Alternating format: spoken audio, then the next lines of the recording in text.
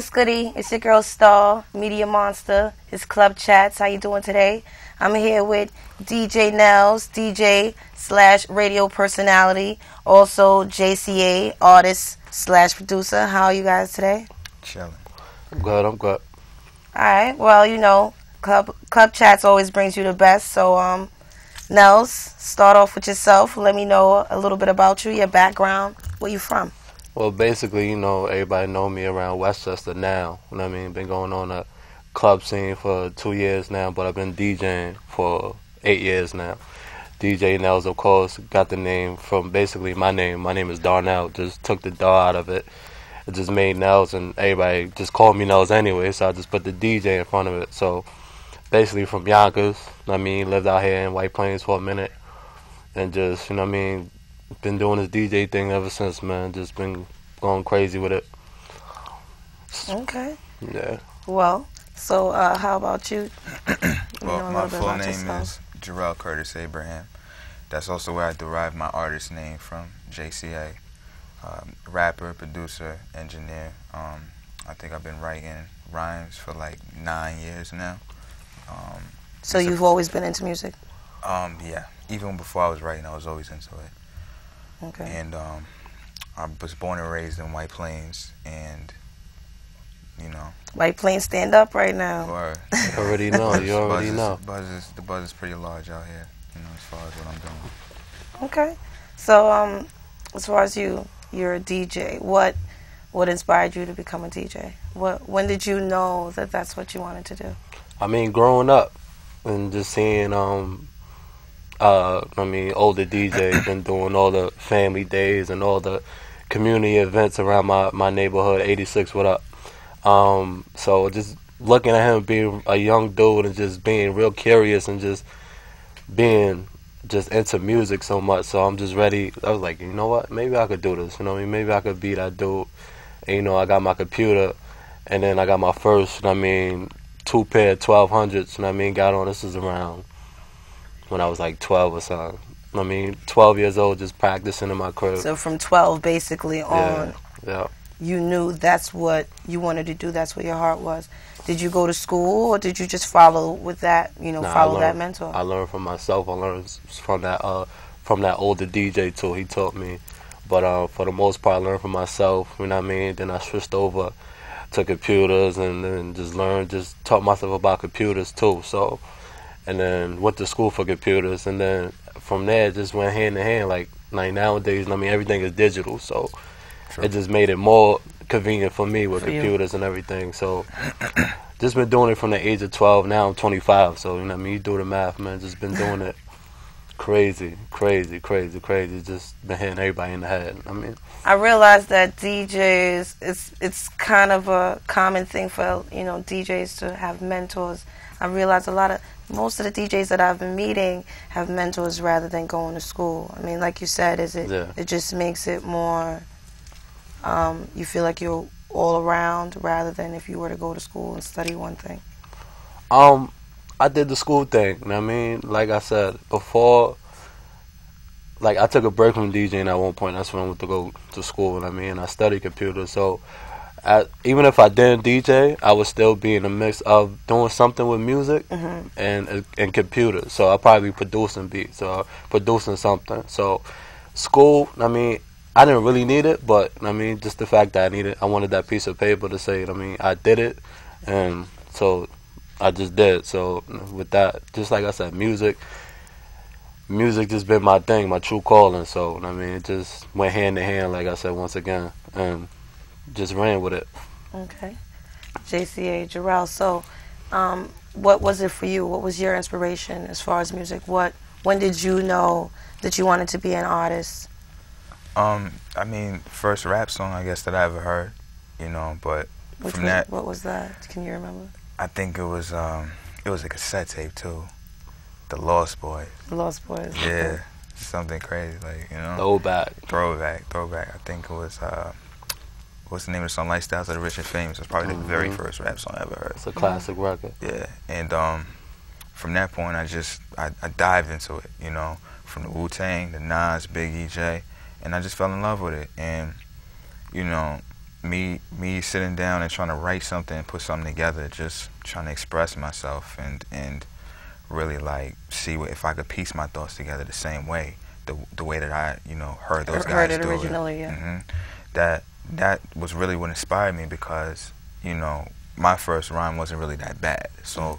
I'm comp- I, the whole time I was always comparing myself to these guys As you and- as I was going, and I think that's what's also helped me progress and get better. Mm-hmm. But it always inspired me because I would always see how close I was. You know what I'm saying? And and, it, and it let me know that it was possible. So, you know that and having the right people uh, notice that you know that I had a gift that that they felt I had a talent that could be used. You know, as far as potential was concerned.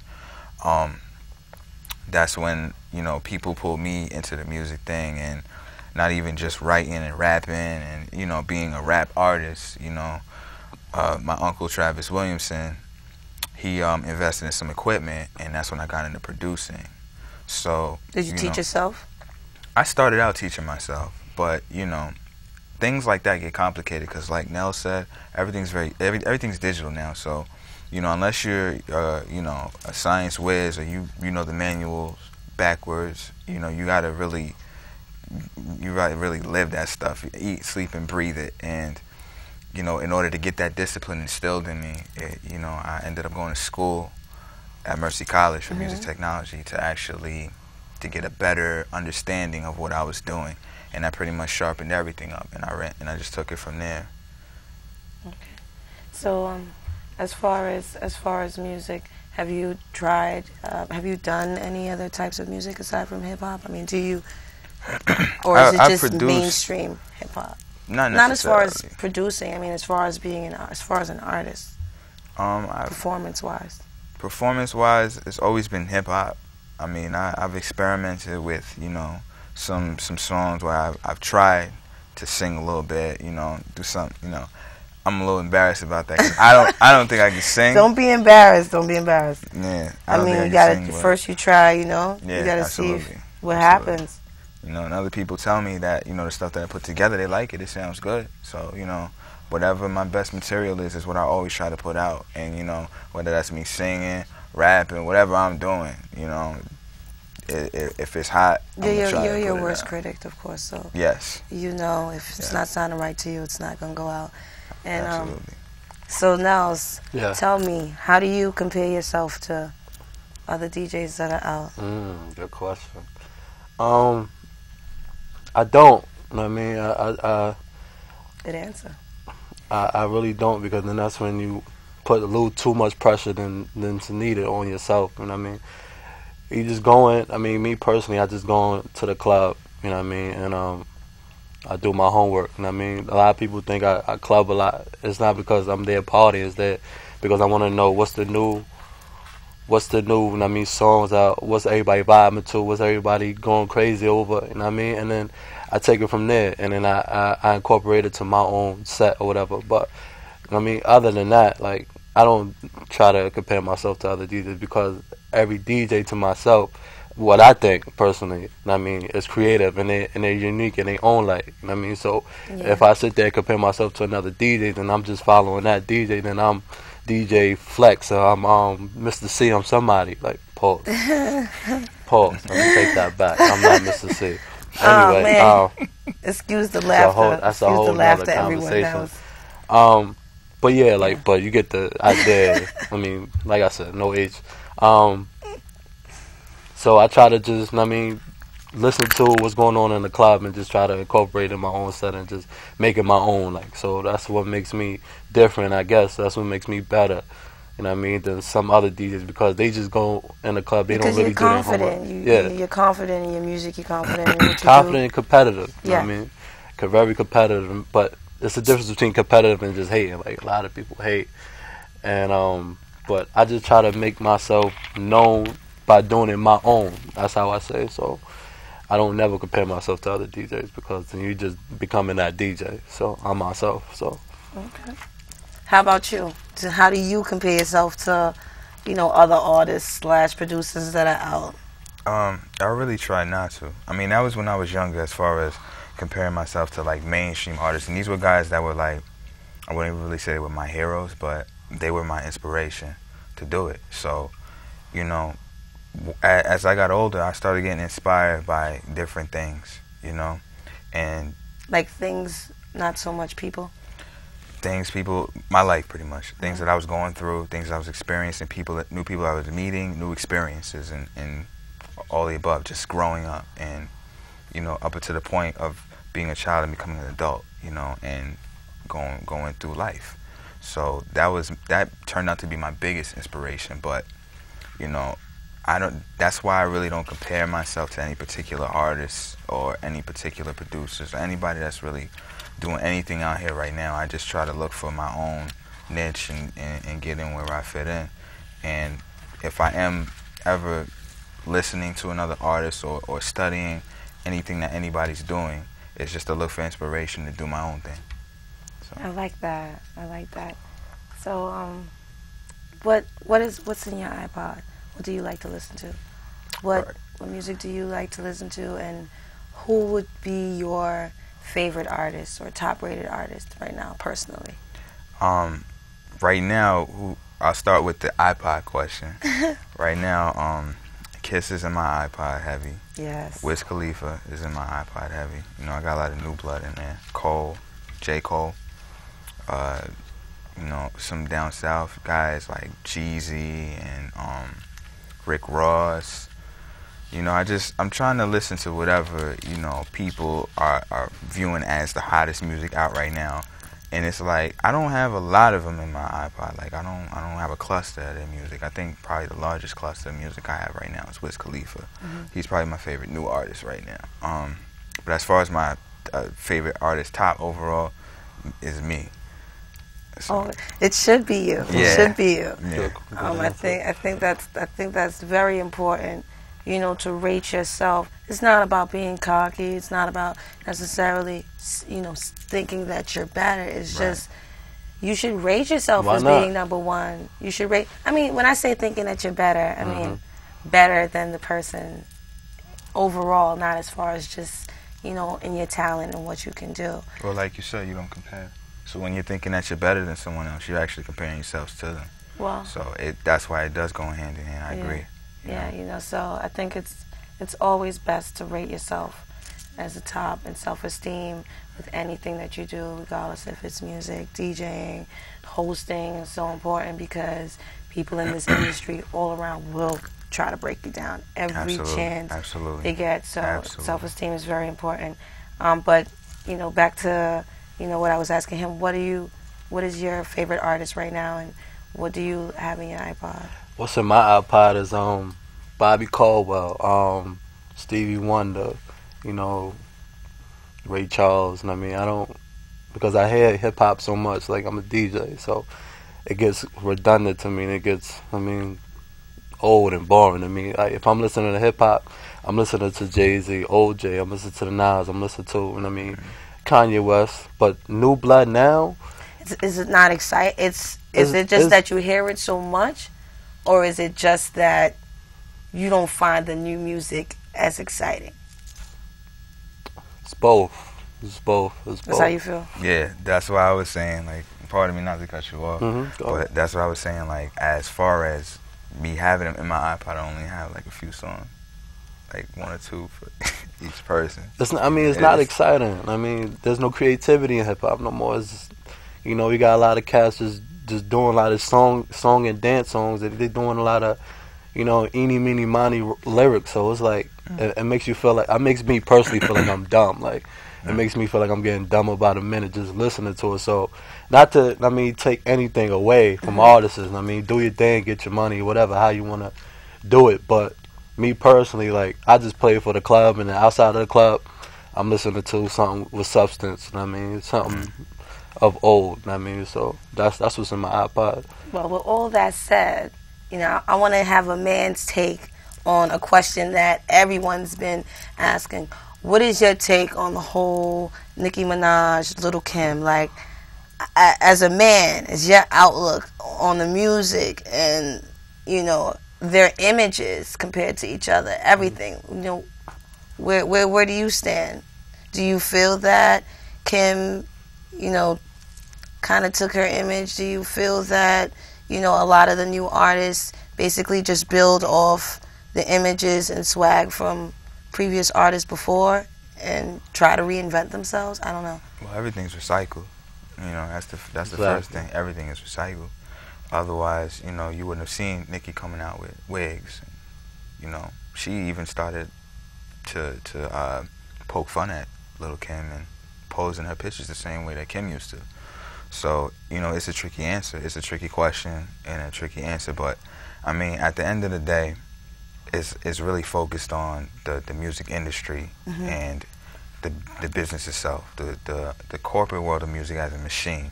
That's how they market these artists. That's how they create their images. They they recycle. They take the images from the ones before and they say, you know what? If we take this and this and that from Lil Kim, We build on that. this this and that from Mhm. Foxy Brown, Mm-hmm. and this this and that from you know what I'm saying MC Lyte, we can mix it all together and create a Nicki Minaj gumbo. You understand what I'm saying? And You're she's got a little right. bit of the best of all of those artists that you can tell influenced her to make music in the first place. So, you know, shout to her publicist, shout to her, you know what I'm saying? shout to her manager, like, because at the end of the day, that's really what it's all about. Her handlers are the ones that's really telling her, Nicki, this will work for you. You Mhm. understand what I'm saying?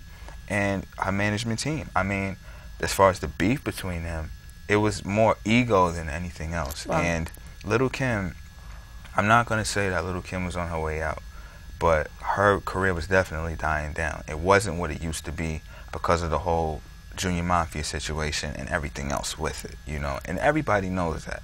And that but that's not to take away from anything from her as an artist, which is where people went wrong because they're saying, "Oh, she's not a good artist because you know her career is not at its peak anymore." Mhm. But when her career was at its peak, everybody was fantasizing about her, and that's all. They only wanted Little Kim. You know, there was never gonna be another Little Kim. It was like, oh, she's the great, like you know what I mean. But now that there is, now that now there's a Nicki Minaj, so it's like, Yeah. Little Kim, look, you know, whatever. You know what I'm saying? I see you nodding. Are you, are you in I, I mean, agreement? he basically taking all the answers. I mean, that's basically what it not. He basically explained it. He Yeah. basically said it what it was. But um, me personally, I just think that Lil Kim was hating a little bit. Like, I mean, I'm a, I'm I gonna say this. Like, I mean, and. I'm a Lil Kim fan since I was young. Since I couldn't really listen to her, like, 'cause she was too explicit. But Mhm. now, but it just seems like she sees somebody that's that's her. I mean, her her own light, and she's not liking that. It's like somebody getting old and they don't have it no more. So,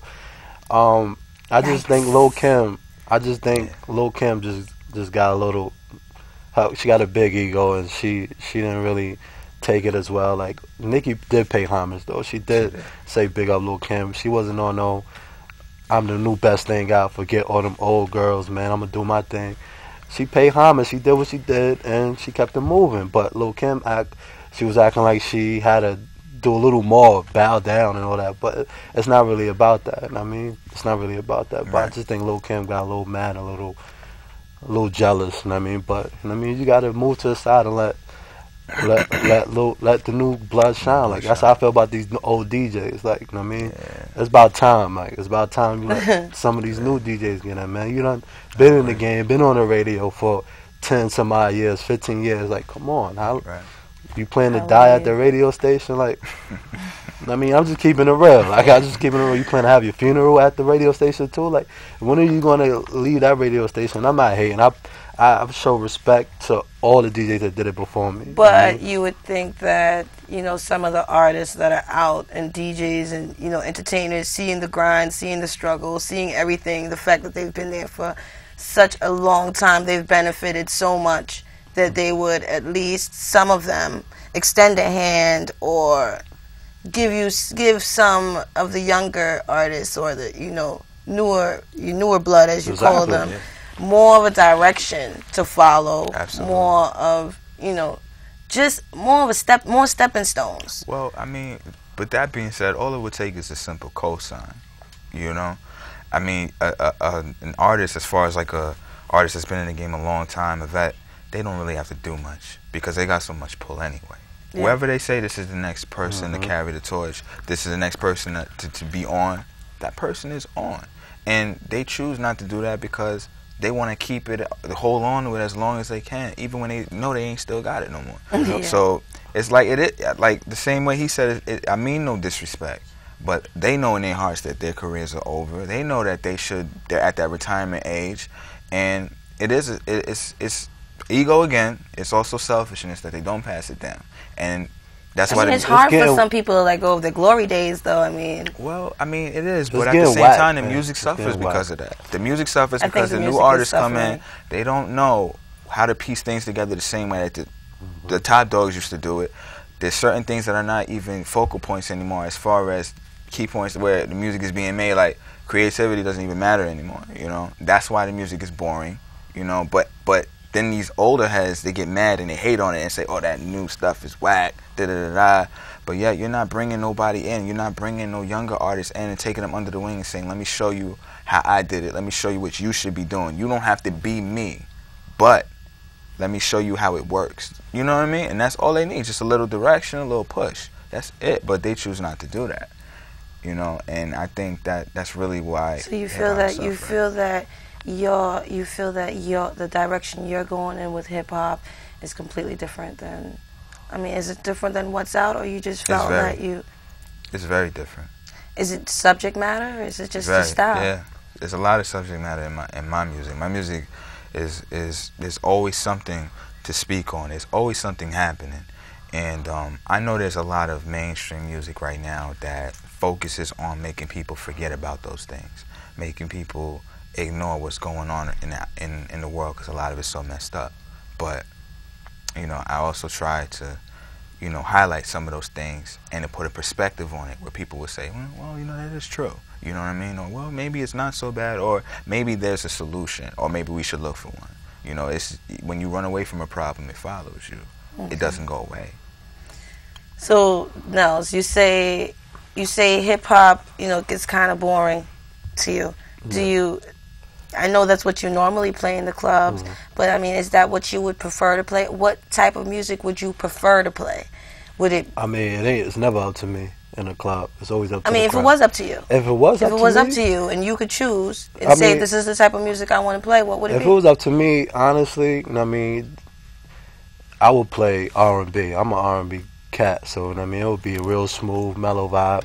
And I mean, which I mean, the 25 and up usually prefer anyway. So I would play. I mean, the R and B. I wouldn't really play all that. You know what I mean? Song and snap and dancing. I mean, two stepping and I don't want. I wouldn't do all that, but. It would be more of a, I mean, Donell Jones, you know what I mean, type of vibe, you know what I mean, next. All the 90s, the 90s, if y'all, if y'all go to the club, you notice that the 90s R&B early set always get the crowd going. Always, always. So it's like, Sure. I would rather keep it like that. And I mean, play a little hip hop. No, I'm not bashing hip hop at all. Like, I listen to hip hop now just to enjoy myself in the club. Other than that, I'm not looking for no message. I'm not looking because that's not what they trying to. I mean, incorporate in their songs anymore. So I'm just Right. looking forward to dance, to party, and that's all it is. Outside of the club, it's a totally different vibe for me. But if I was to play music that I want to play in the club, it would definitely be like a '90s R&B type flow. And I mean, just a mellow flow, everybody just vibing out. I'm glad I was able to get your guys the your take on music. Period. I mean, I, I'm looking at the time. I just wish I had more time to really go into the two of you, pers- you know, uh, you personally. But I mean, the, your take on music, you as a DJ and you as an artist, is kind of similar, and it's it makes it's gonna make a lot of people open their eyes to say, "Wow, like what are we really listening to?" Mm-hmm. You know, Right. is is this really what music is about right now? And I really appreciate you for that. Even you know the whole thing with Nicki. I've always been curious to see what the male, you know, opinion of that whole controversy would be because you normally only get the women's side. Right. Sometimes, you know, I think sometimes we could be a little biased. So, you know, it was good about that. But, um, but you know, you let me know what's going on with you. You know, you have any things, you know, coming up. I, I know you want to give, you know, shout outs to any DJs that you got in Yeah, man. association with you, your peoples. Of course, shout out um No Sleep to Be Rich, I mean Blueprints J and H, Bottles Up Dino, um Tigger Man. Um, big shout out to my homie um, DJ Supreme, of course DJ Head, the Westchester Miracle Kid, Um, shout out to all the DJs I've been working with thus far. Tech One, you know. Um, shout out to um that I can't think of If top he right can't now. remember if I can't remember your you, name, no disrespect. It just you know I mean my mind somewhere else. But um, shout out to the DJs that been doing it too. Like like I said, no disrespect. You know what I mean? It's just been too long. Like I mean, it's time for new blood let them know about But, your um, radio station where they can listen to you. Oh yeah, ninety. Oh, that. I'm glad you hosting. Um, ninety four point one FM. Tune in each and every Monday, eight to ten p.m. Or you can log on www.realdealfm.com. You can log on with your mobile phones too, man. So if you ain't got no radio, because I know they got rid of the radios now, so log on with your mobile phone. If you ain't got no computer, just log on with your smartphone, whatever. You can listen to us on there. Me and DJ Supreme, man. We on there each and every Monday, eight to ten. And you know, I got a couple of parties coming up too. I'll Um, do the rundown for you. I'll do the rundown for you. He got he got May fifth. He's gonna be at Salutes. First Fridays, um, always at Salutes. Uh, the sixth, he has Lazy Lounge, White Plains, after work five to ten. The seventh, he got Cabo. The thirteenth, Taboo. The twentieth, Honey Lounge. June fourth, Harlem Lanes. The 29th, Crazy. For bookings, call Castro 914-648-0636. Once again, that's Castro. JCA, you know, let them know where they can find your music. I know you said um, New City Franchise. Right. Uh, that's Facebook. Uh, that's also for Twitter. Mm-hmm. Can you let them know your Twitter? It's facebook.com backslash New City Franchise, like all one word.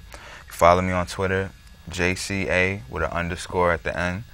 Um, I'm on MySpace. I, don't, I know a lot of people are not really on MySpace right now, but uh, if you are on MySpace, add me on MySpace backslash JCA with a number nine at the end of it. Uh, You let them know your album will be out this summer. album you got album's dropping this summer. City of Kings album, City of Kings documentary is dropping. Um, both this summer. Everyone, stay tuned for that. June 11th, you got the Juneteenth Festival in White Plains. June 23rd, Jackie Blues. I mean, your calendars are pretty full right now. Yep. Uh, is there anywhere else they'll be able to hear your music? Um, YouTube, YouTube.com, City YouTube, JCA? Yeah. Okay, so uh, that's what it is. Star here, like I said, Media Monster Club Chatz. We bring you nothing but the best. It's always crazy. The conversation was crazy. Uh, I had two intelligent, uh, very talented uh, artists here, entertainers, radio personality. As you can see, they do it all. So it's always love. And once again, I hope you stay tuned and you join us next week for Club Chatz.